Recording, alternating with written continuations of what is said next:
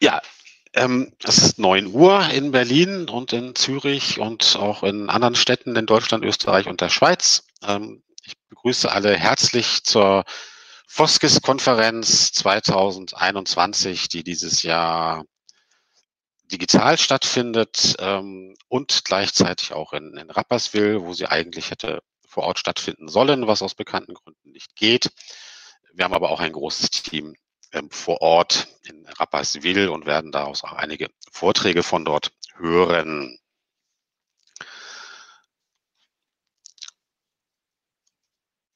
Ich möchte damit beginnen, den Leuten zu danken, die die Konferenz ermöglicht haben. Das sind zum einen natürlich die zahlreichen Sponsoren, die wir haben, die ich jetzt mal hier auf die ähm, Präsentation schalte und hoffe, möglichst gerecht ähm, durch, durchzublättern, so dass sich da keiner benachteiligt fühlt und alle ordentlich wahrzunehmen sind. Neben den ganzen ähm, Sponsoren, die wir haben, gibt es noch sehr, sehr viele freiwillige Helfer, die im Vorfeld ähm, wahnsinnig viel gearbeitet und organisiert haben und die auch jetzt während der Konferenz natürlich äh, sehr aktiv sind und dafür sorgen, dass die Redner rechtzeitig äh, auf die Bühnen geschaltet werden, die dafür sorgen, dass das äh, Venue-less, wo wir alle drin sind und gerade zuhören, funktioniert und läuft, äh, die im Hintergrund rödeln. Vieles kriegt man wahrscheinlich gar nicht mit, ähm, was so alles noch gemacht werden muss ähm, im Hintergrund.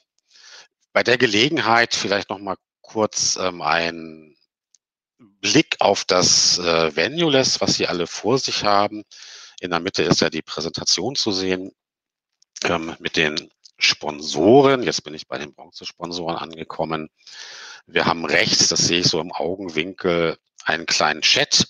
Da können Sie als Zuhörer äh, miteinander reden, miteinander chatten, ohne die Vortragenden zu hören ähm, und sich austauschen. Da gibt es einen zweiten Tab mit Fragen. Wenn wir zu Vortragsblöcken kommen, an den Fragen erlaubt sind. Das ist jetzt bei der Eröffnung noch nicht so.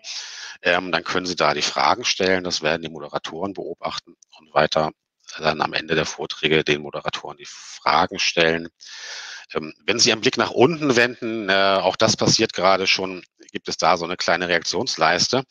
Und ähm, da können wir ja gerade mal alle ausprobieren, den Sponsoren und den vielen Helfern, die ich gerade schon nicht namentlich, aber anonym erwähnt habe, einen kräftigen Applaus äh, und ein paar Herzchen zu spenden.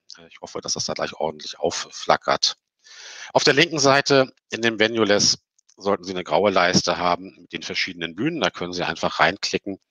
Und wichtig vielleicht noch, ähm, dass unten bei den Kanälen die Räume auftauchen, für die Sie noch angemeldet sind. Also wenn Sie zu einem Workshop angemeldet sind und da Ihr Workshop-Raum nicht auftaucht, dann sollten Sie sich darum kümmern, äh, dass er da auftaucht und das am besten über den ähm, Infodesk. Äh, da komme ich dann gleich nochmal zu, ähm, was außerhalb von dem Venue-Less stattfindet. Ähm, jetzt nochmal kurz das Intermezzo zum, zum Foskis-Verein, der ja diese Konferenz ähm, veranstaltet und organisiert seit vielen Jahren schon. Ähm, wir haben jetzt stand gestern 252 Mitglieder, wenn meine SQL-Kenntnisse da mich nicht verlassen haben und ich das richtig aus der Datenbank rausgeholt habe. Wir haben zum diesen Jahr die Vereinsbeiträge erhöht ähm, aber das sind immer noch die aktuellen, die jetzt hier draufstehen. Erwerbstätige 40 Euro, Studierende, nicht Erwerbstätige 10 Euro. Also wer noch nicht Mitglied ist, ist natürlich herzlich eingeladen, auch beim Verein Mitglied zu werden, um unsere Arbeit zu unterstützen. Auch dazu gibt es dann noch weitere Informationen im Ausstellungsbereich. Letztes Jahr hatten wir unser 20-jähriges Bestehen, konnten das leider nicht feiern, ähm, haben das aber nach wie vor auf dem Schirm und werden das noch in irgendeiner Form und irgendwann sicherlich nachholen. Der Foskis-Verein ist das Local Chapter der OSGeo, der internationalen Foundation für Open Source äh, Geo-Software und Daten und der OpenStreetMap Foundation. Und die Konferenz steht hier unten noch, äh, richten wir seit dem Jahr 2003 aus als als Verein. Dann noch ein paar Neuigkeiten für die, die nicht ganz so dicht am Verein dran sind. Wir haben seit letztem Jahr September eine Koordinierungsstelle mit einem Büro in Berlin ähm, und auch einer Angestellten, das ist die, die Katja Haferkorn, ähm, die jetzt die Vereinsbelange dort koordiniert, Ansprechpartner für alle ist, die Fragen an den Verein haben. Das äh, beschränkt sich auch nicht nur auf die auf die Mitglieder, aber natürlich äh, ist sie auch für die Mitgliederbetreuung zuständig, die Koordinierungsstelle in Berlin. Ähm, das heißt, wenn man jetzt die Telefonnummer wählt, die auf der Webseite steht, dann geht seit letzten September auch wirklich jemand ran und man hat nicht mehr nur den ähm, altbekannten Anrufbeantworter an der Strippe. Wir haben relativ frisch ähm, im Technikbereich ein bisschen was gemacht. Das geht natürlich auch alles weiter. Ähm, aber das neueste Kind sozusagen ist ähm, unser, unser Kalender.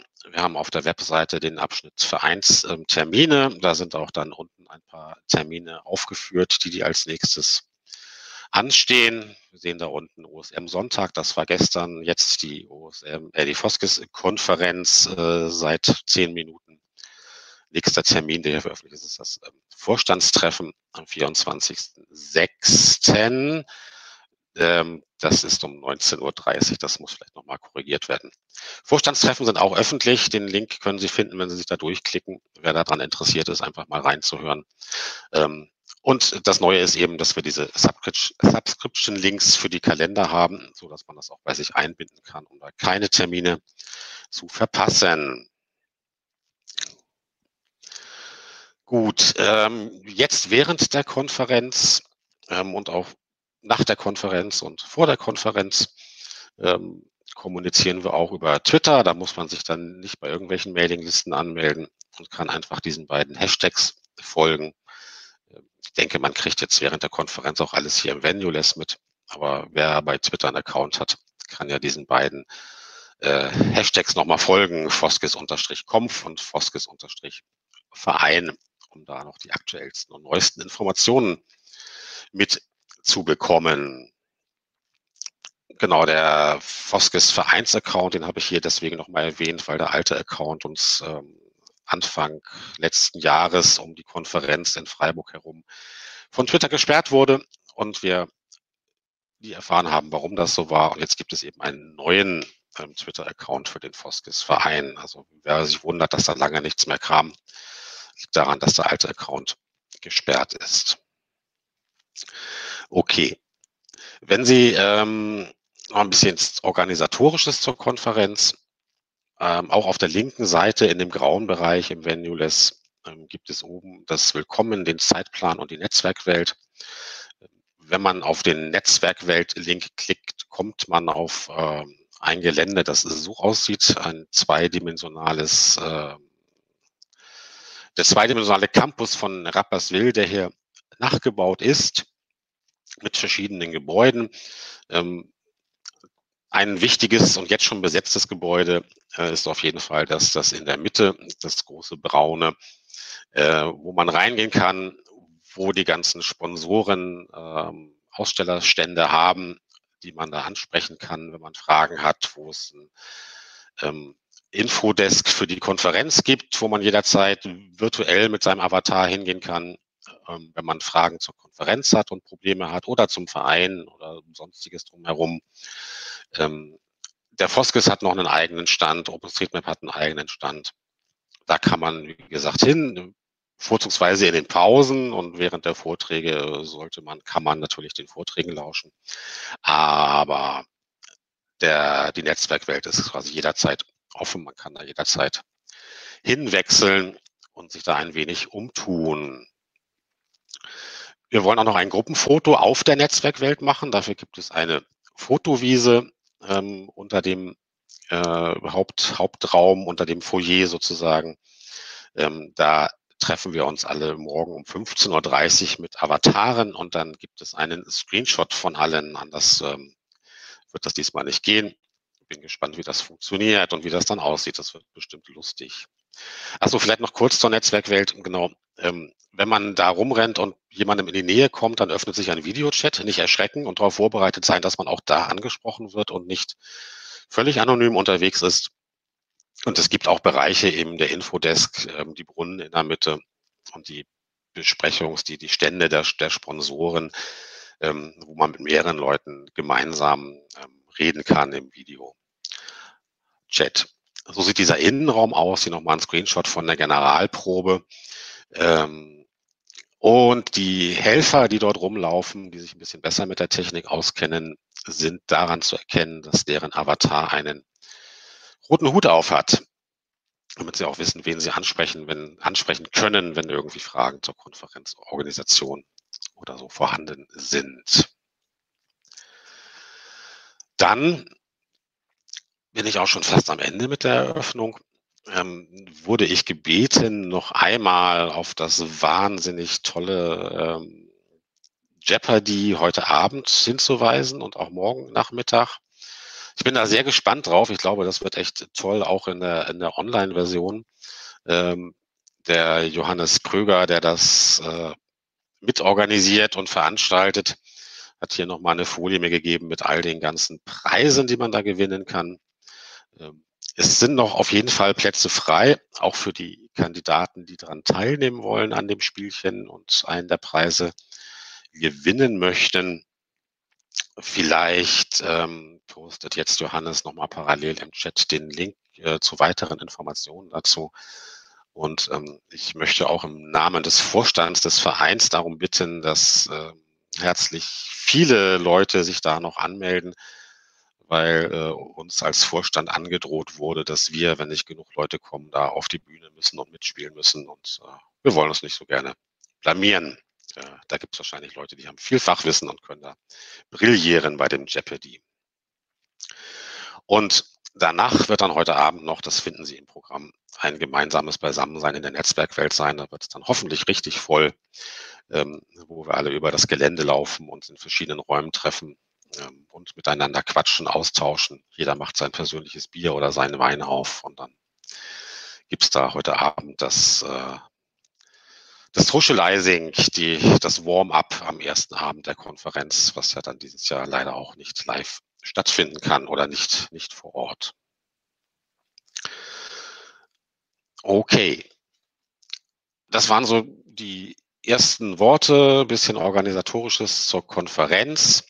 Wir haben jetzt in diesem Blog, der ja als Einzelblock stattfindet, das heißt, äh, auf den anderen Bühnen ist zurzeit nichts los, äh, bis, bis der nächste Block beginnt. Nur hier die Vorträge. Ähm, wir haben jetzt zwei Keynotes, äh, die als nächstes kommen. Die erste Keynote ist Geodata on Steroids, Open Government Geodata and Open Source Software von David Oesch. David Oesch ist Projektmanager bei Swiss Topo.